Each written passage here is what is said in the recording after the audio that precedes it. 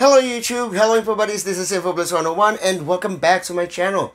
Okay guys, are you planning to record videos on the OBS Studio but you can't seem to capture the sound on the videos or gameplay that you are recording? Well, there is a simple way to fix it and here is what we're going to do. Alright guys, I'm here at my computer and I already opened up the OBS Studio. But before we start, I will give you a short example on what kind of problem we are going to fix. So here, I already had the Nintendo Switch hooked up with the OBS and as you can see that the audio mixer is not reacting or not doing anything with the recording of the OBS. So the desktop is not doing anything, the mic is not doing anything, and even the capture card is not doing anything. This means that the sound from the main device is not detected by the OBS. So here is what we're going to do. At the OBS Studio, go down and click on the video capture device. After clicking, there will be an option window that will pop up and what you're going to do is go way down and look for audio output mode.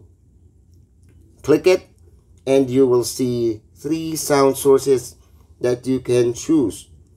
The capture audio only, output desktop audio direct sound, and output desktop audio wave out.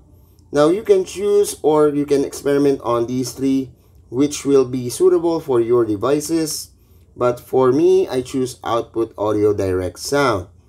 Now guys, below there is a box or a white box saying custom audio device. Uh, click that and there will be another option and this is audio device.